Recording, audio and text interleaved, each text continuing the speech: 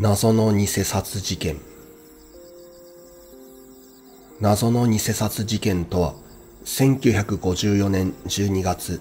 日本で発生した偽札事件である。事件の概要。1954年12月上旬東京都中央区新富町にある印刷所に更新所の捜査部長を名乗る男が現れ宗教団体の寄付の領収書に使うものだとして、紙幣のようなもの1000部の印刷を一部50円で発注した。表面の左右にアラビア数字で100と印刷されたその横に意味不明な文字があり、中央には旗を掲げ乗馬する白い騎士、そして裏面には昇る太陽とダビデの星が書かれていた。依頼者の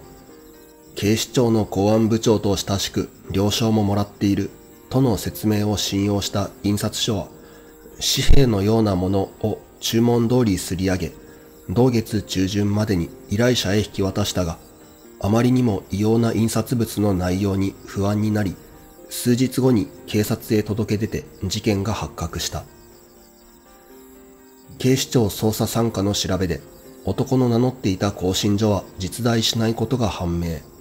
そして印刷所に残っていた紙幣のようなものを入手した警察は日本銀行へ問い合わせたが、世界の紙幣にこれに該当するものはないとの回答であった。ダビデの星が印刷されていたことからイスラエル公使館へも問い合わせたが、やはりこの種の紙幣は通用していないとの返答を得るだけであった。表面の両側に書かれてある文字についても判読不能で、都内の研究機関や大学の言語学者などに問い合わせたが、結局どこの文字や言語なのかわからなかった。その後、